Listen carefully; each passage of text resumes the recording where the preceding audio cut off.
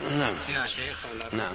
إذا كان شيخ رجل له أم ما تصلي إلا أنها يعني مقرة بالتوحيد يعني وماتت وهي تاركة للصلاة نهائيا وعارفة الحكم في ترك الصلاة. وعلى عقيدة شرك يعني في الأولياء والصالحين شيء من هذا تعتقد فيهم هل يضحي لها يستغفر لها؟ لا لا ما مات على الشرك لا يغفر لا يستغفر له. النبي صلى الله عليه وسلم استأذن ربه يستغفر لأمه وماتت في الجاهلية. نعم. فلم يأذن لها عليه ولم يأذن له سبحانه وتعالى. هذه لا يزورها ولم يأذن له يستغفر لها وهكذا لم يأذن له يستغفر لعمه أبي طالب مع أنه نصره وحماه. وأنزل الله في هذا ما كان النبي والذين آمنوا يستغفروا المشركين.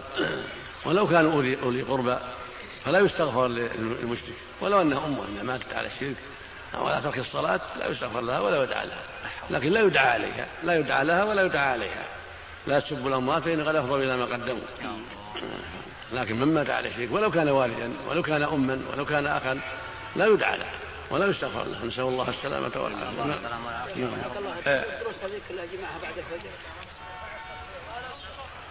نعم. نعم. صوت. طيب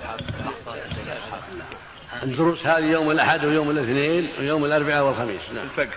الفجر بعد صلاة الفجر. في هذا الجامع. وليلة الاثنين فقط.